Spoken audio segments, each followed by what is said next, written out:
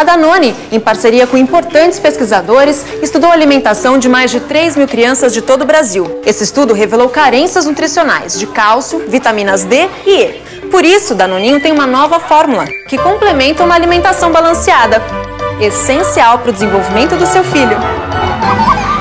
Danoninho, muito mais que um petit.